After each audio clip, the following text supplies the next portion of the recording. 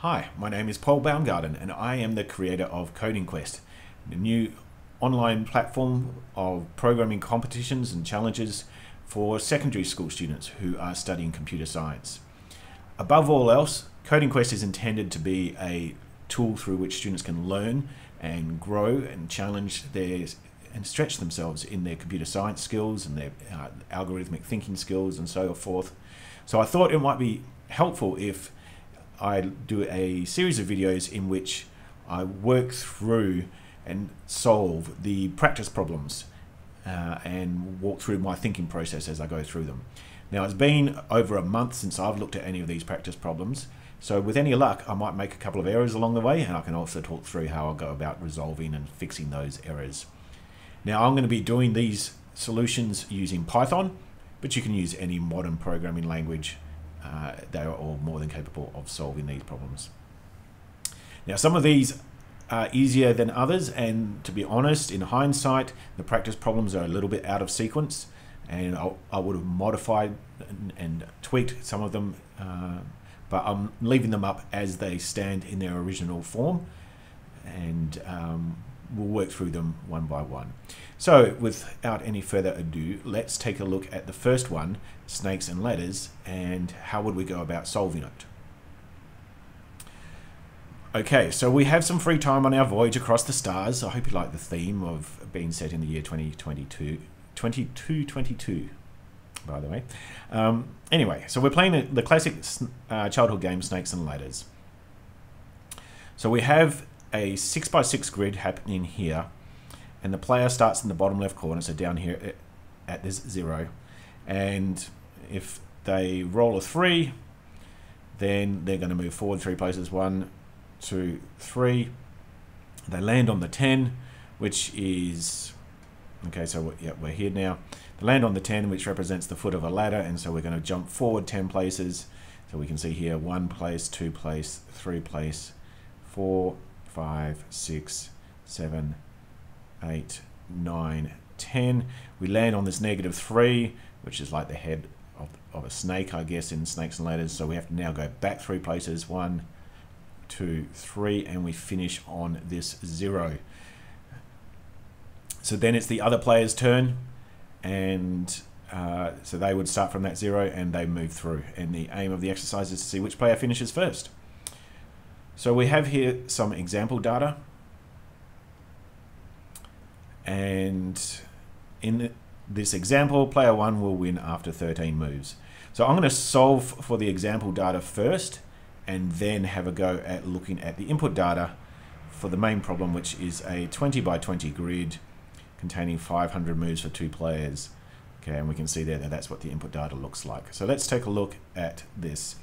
So I'm going to copy all of this and let's go into my editor. So you can see here I've just got an empty Python file, snakes and ladders day one. I'm going to create another new file for my input data. And I'll just paste that in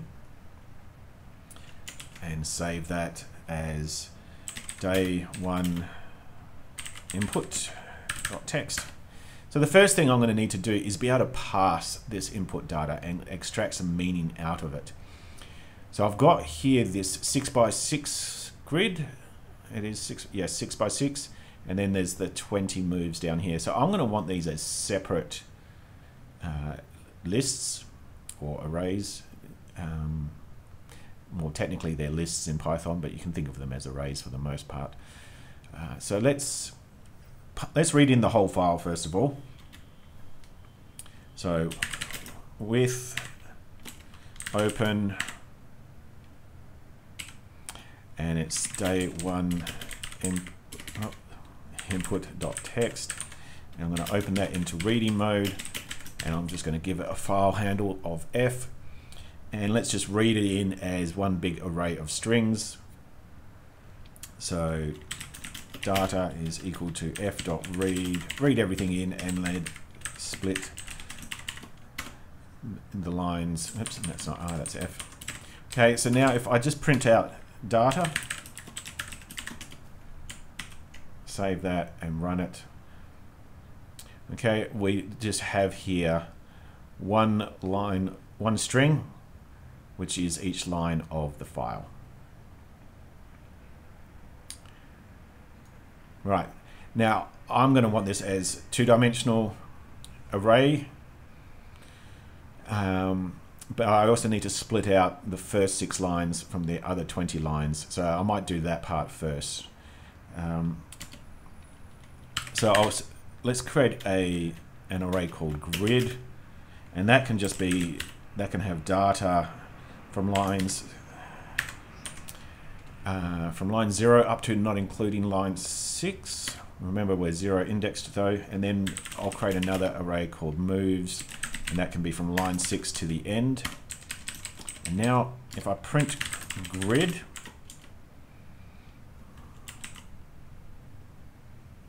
Right, and I look through that. Yeah, that's just got my, my grid there of those six moves. Oh, sorry, of the, the six by six grid. And if I print moves, okay, I can see that there's all my moves there. All right, let's turn these into uh, arrays of integers now. So moves, there's the long way and then there's the, the Python shortcut way. Let's um, show you the long way and then I'll show you the shortcut. How about that? All right. If I just take moves and I'm going to, for line in data from 6 to the end. All right. So let's just show you what this is going to give me. This is, oh, if my mouse works properly.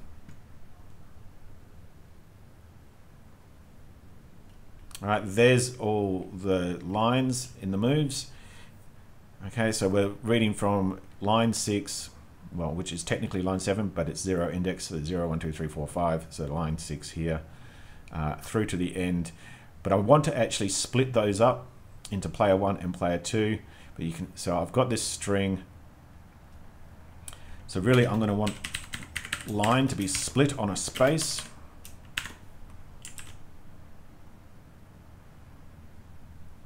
All right, and now I've got that, but there's still uh, strings.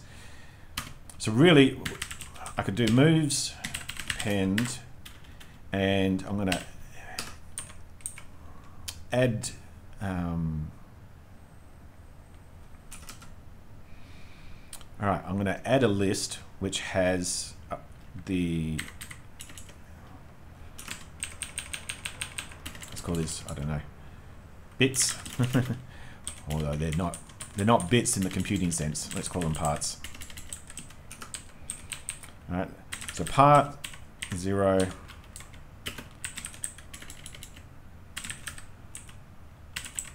I want this as a big array so that I can just iterate through it later on. Oops, and then I, I need to print moves so you, we can see what this is ending up as.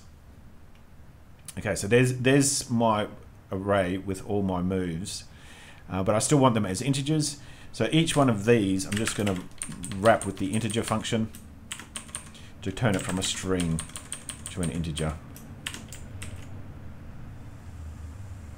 Okay, and so we can see here I've got uh, a list inside a bigger list.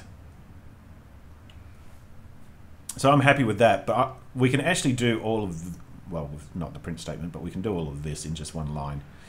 Um, so let me comment that out and show you how to do this as one line. Moves is equal to for line in data 6 to the end.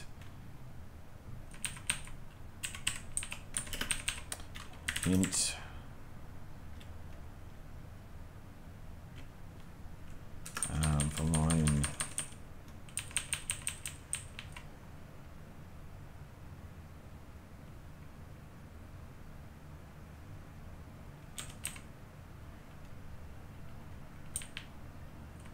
want to split it.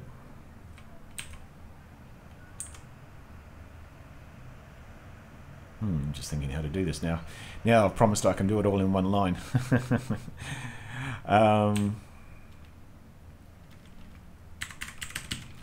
because if I do that... Oh, this is got this is icky. um, I mean, it'll work though. Copy it and paste that. see, that should give me the same thing. Yeah, okay. okay, so if I'm, if I'm trying to iterate through this for, let's just use an i count, uh, an index counter for i in range. Because I actually prefer to use index-based loops um, because it's more compatible with what you'd get in other languages as well. All right, so we, we would actually be saying, okay, for move i player one rolls moves I and player one will be player zero and then player two rolls moves I and their player one. Alright, so just to show you what this does.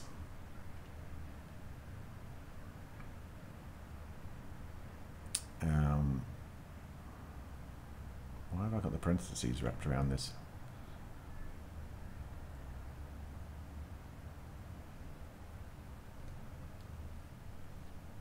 Yeah, okay. That was because of the, the run function I'm using. Anyway, so we can see here we've got the, the 20 moves and we've got the data for each of the players. Okay. Um, needed fix up the 6x6 grid as well. So let me do that.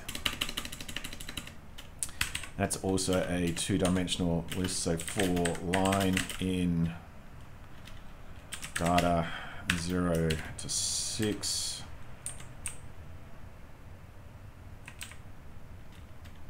And we're splitting on spaces, so um, n for n in line dot split on spaces, and I want to turn that those into integers.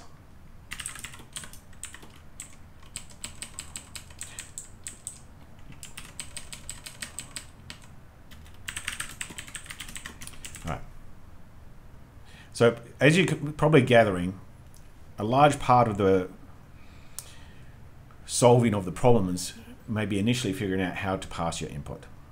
Okay, so you can see here I now have this two-dimensional list. Right, if I print it out in two dimensions, um, so for row in range 0 to grid, for column in range 0 to grid for that row. Print out row column. And let's just put a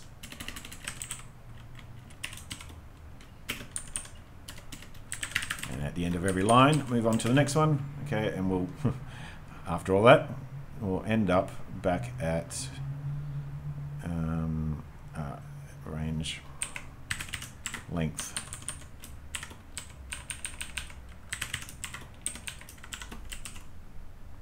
end up back where, oh, end up back where we started. Okay, so yeah. um, but I know my parsing has worked, and I have this now as a two-dimensional array of six by six. All right, now in terms of actually solving this, however, uh, the, one of the tricks behind the snakes and ladders problem was to realize that while the data is given to us as a two-dimensional array, because that's what the traditional snakes and ladders game involves in us weaving back and forth. Moving through this two-dimensional array is actually really painful because we would have to keep track of which direction we're heading on. Uh, you know, are we going left? Are we going right? So when I solved this the first time, I actually realized I could take this two-dimensional array and just turn it into one dimensions and flip um, the left right when I when I'm passing it into one dimensions. What do I mean by that? So really what I want, because if I get, like here, when I landed on this 10, right, I want to move forward 10 places.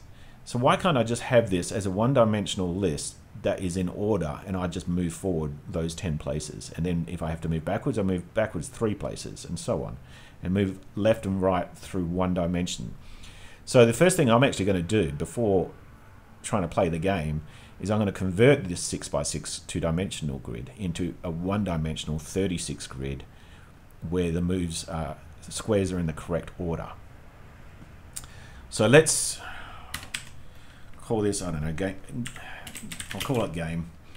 Um, so I'm just going to create an empty list and I'm going to start here where I need to start. All right, so let's start with that row. So um, for every row, and let's start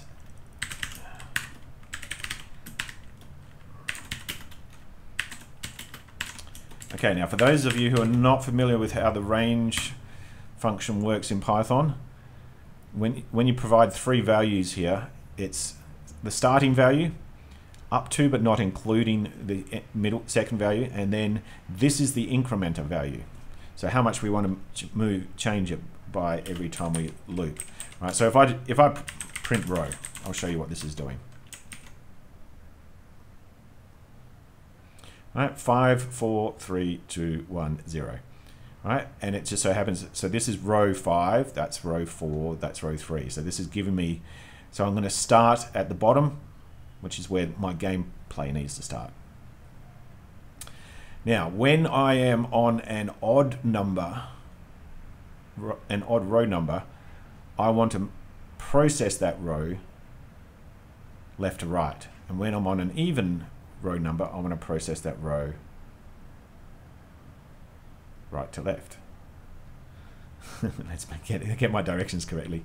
Okay, so what I'm going to do here is if row mod 2 is, all right, so if I divide by 2, I have a remainder of 1, that means I'm on an odd row. Process left to right. Else, even row, process right to left. All right, so let's process the numbers that are in this row. Um, so for column in range 0 to the length of grid for this row, and I'm deliberately putting in length of the grid of the row each time instead of just saying 6 so that it will automatically adjust when I then give it the big 20 by 20 inputs and I don't have to remember to go through and change my code everywhere. Uh, game.append, let's just put the number in for this grid at this row at this column. And that should do that. And then this one for column in range from, again, so this is my starting number, right? When there's six numbers here in the uh, columns, there's six columns, so the, the length of the column will be six, but I actually need to start with column number five, so I need this minus one, which is why I also had the same there for my rows. So I'll do the same here, right? Length of the, of the grid, oh come on, spell correctly, grid of the row minus 1. Keep going up until, but not including minus 1, and we'll reduce by 1 every time. Game.append grid row column. Okay, now, if I've done this correctly, when I print game,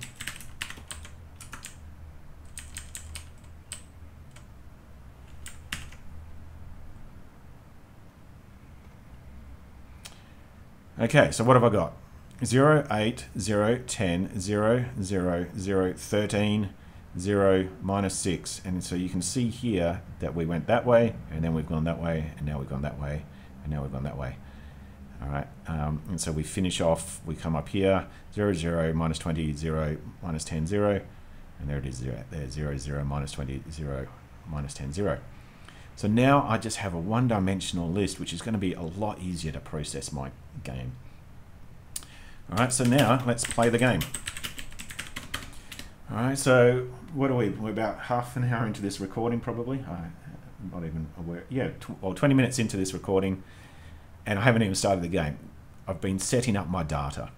And this is, I guess, an important point when it comes to problem solving with computing. A lot of the time, you're spending time uh, figuring out the abstraction of your problem and solving that first, coming up with a model that's going to best represent the problem, and it will simplify you then actually solving it. If you if you spend some investment time up front to figuring out the best way to model your problem. So now we can play the game. All right, and so we've got these moves. Um, so for move in moves, we know there's 20 of them. All right, so player one, their move is just going to be, um, so this move is just going to give me player one and then player two's move. All right, there you go.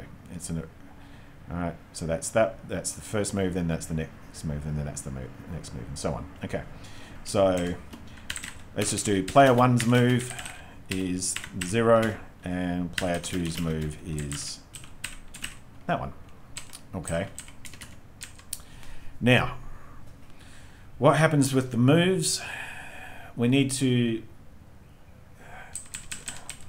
so that, yeah, so that's their current move. We need to know their current location. So player one's current location starts at, at on square zero. Player two's current location also starts on square zero. So let's we look at the move. Let's add it um, add it to the location. So player one location is whatever's already in it, and we add the move to it. Let's do this. Um, player two's location. Let's just add the move to that. But we then need to check the square that we've landed on, and if it's not a zero, then we need to process it and either move forward or backwards until we get to a zero. So I'll do it for player one first and then we'll do it for player two. So we can just do, rather than just saying if game player one location uh, doesn't equal zero, um, I actually want to keep looping because like in the example, I land on the 10 and then I land on the minus 3. So this is actually a while loop. I want to keep doing it while it doesn't equal zero. And if it doesn't equal zero straight away, it just won't execute the loop at all. Um, so I need to look up that square and then adjust my location accordingly. So um, player one location, let's just add whatever's in that square. Now this will come up with a problem.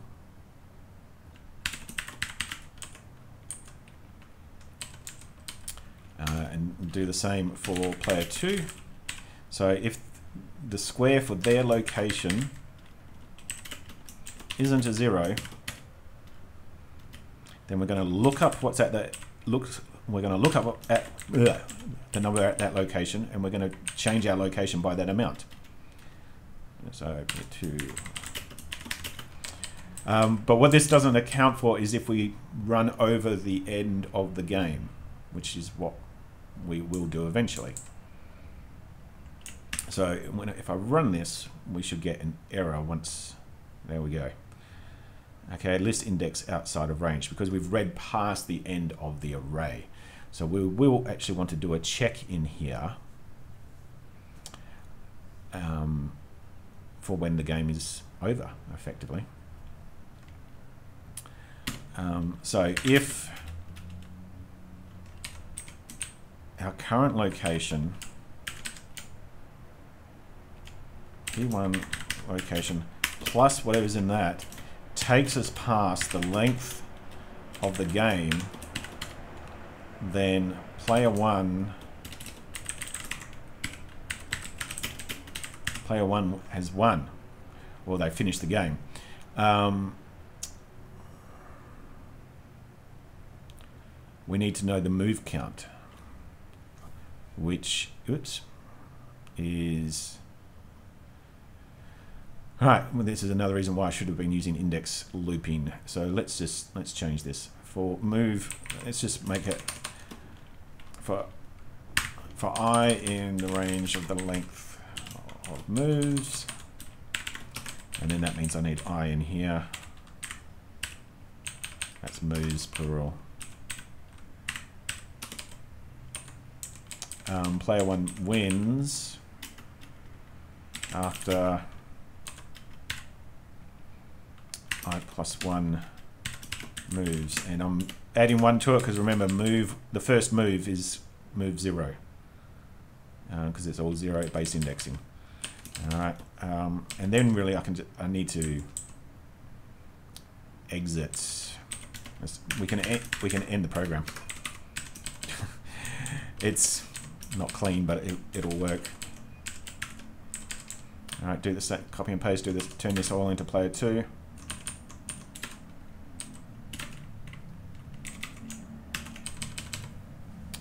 and let's run it and see what this does. Okay, we are still getting index outside of range. Well, ah, because here I'm checking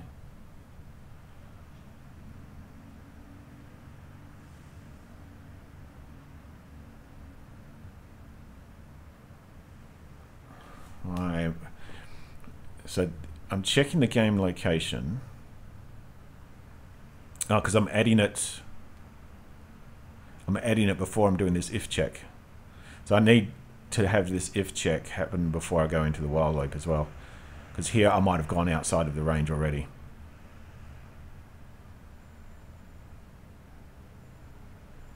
So I need to do it anytime I'm processing the move. So, all right. Again, it's not elegant. But in terms of solving a competition, you just go for, sometimes you go for what works. And I'm still going outside. If that, oh, because I'm still looking it up. Sorry, I need to do that prior to adding it.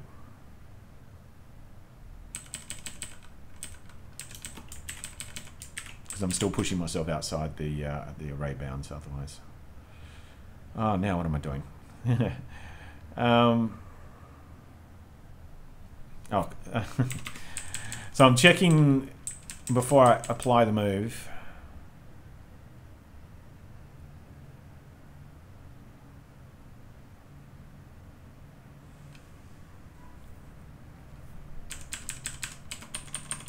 Oh, because that's checking the where I currently am instead of applying the move to it. Right, because this is slightly different logic. This is my dice roll, and then this is what's what's at that square. So then here I'm applying the, di the dice roll to it. All right, but then here I'm not applying a dice roll, I'm applying the what's that the square to my move and so that's why I'm having to check different things. Told you it'd been about a month since I looked at this. I'm still going outside of range though. Line 40 this should be detecting it. Player one if player one move plus my current location takes me past the end of the game.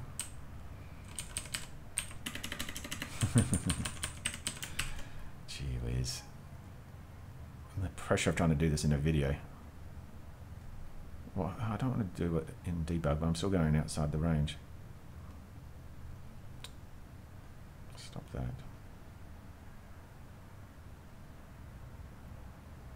If my current move, if my current location plus the move takes greater than or equal to.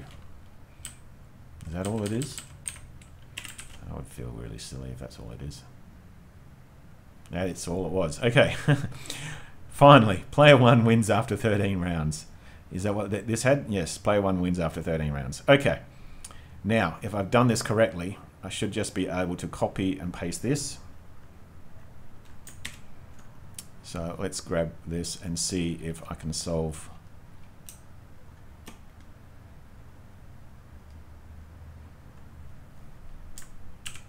Oops.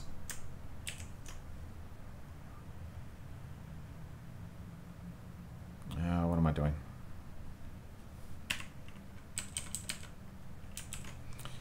Um,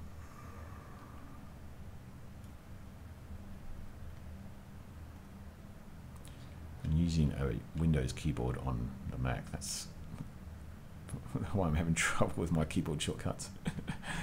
Day one input real. Okay, so the only things I should have to change here is let's change this file name. And instead of line, instead of processing six lines, here 06 should be 20 and 20. And everything else should be the same. Player 1 wins after 95 moves. Let's test that. I think that's correct. 95. Yes. There we go. All right. What did that take? 31 minutes. okay. Obviously, could have done it a lot faster, but um, yeah, I felt it was worth kind of walking through and you watching me get myself a little frustrated as I was constantly going outside of bounds of the array. Um, and to illustrate the importance of uh, thinking through the data and parsing it in a way that makes sense for the scenario. Right? And it's it was a lot easier, even though I had trouble still going outside the array bounds. Um, it was still a lot easier turning into that one-dimensional array first. Okay, I will move on to day two in the next video. Thanks for watching. This is Mr. Baumgarten signing out.